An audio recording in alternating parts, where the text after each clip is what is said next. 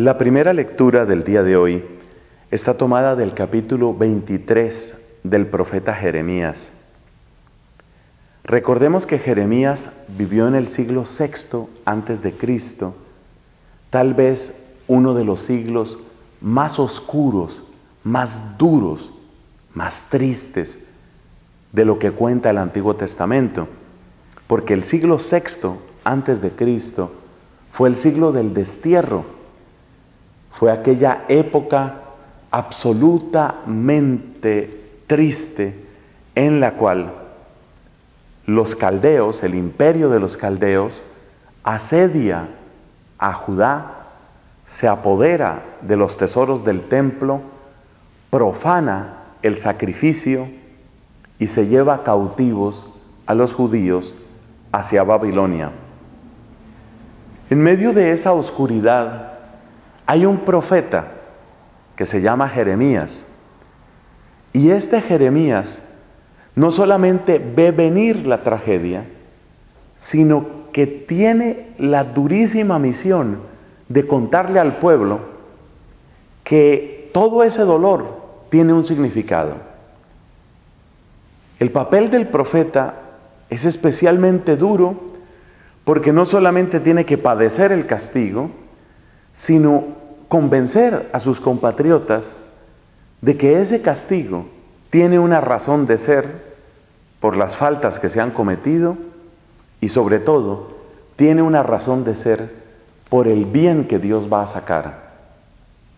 Por eso podemos esperar del profeta Jeremías que no solamente nos cuente cosas tristes, sino que también encienda una luz de esperanza.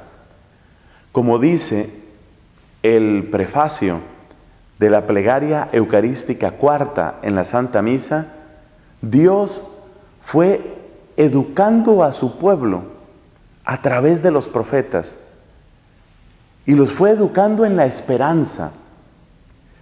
Esto se cumple también en el profeta que tuvo que atravesar esa crisis, repito, tal vez la peor del Antiguo Testamento. Jeremías, en medio de toda esa devastación moral, en medio de toda esa dificultad, tiene palabras de esperanza Vendrá un día, asegura Jeremías, vendrá un día en que Dios va a sacar un vástago legítimo de la descendencia de David. Es una cosa que parece imposible, porque el rey de aquella época, el que fue llevado al destierro, tuvo que soportar que sus hijos fueran asesinados delante de sus ojos y después le sacaron los mismos ojos. Entonces, ¿Cómo anunciar esperanza en medio de esa noche tan espesa, tan depresiva, tan devastadora? Pero Jeremías tiene palabras para decir. Habrá un vástago legítimo. Y tiene palabras para asegurar que ese descendiente, descendiente de David, va a realizar la voluntad de Dios. En él se va a renovar la alianza.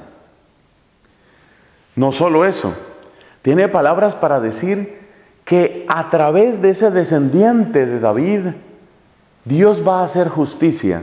Es decir, Dios va a reconstruir el tejido de la sociedad humana y va a enderezar el curso de la historia.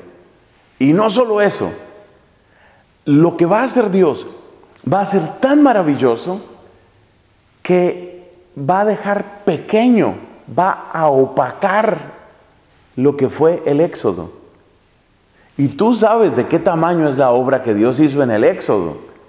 Pues Jeremías dice, lo que Dios va a hacer ahora va a opacar con su grandeza y con su belleza, va a opacar lo que sucedió en el éxodo. Es impresionante realmente lo que puede el Espíritu de Dios en un hombre como estos. Y es impresionante para nosotros reconocer que toda esa promesa tiene su cumplimiento en Jesús. Jesucristo, Él es el vástago legítimo. Jesucristo, Él es aquel en quien se endereza y reconstruye la historia humana.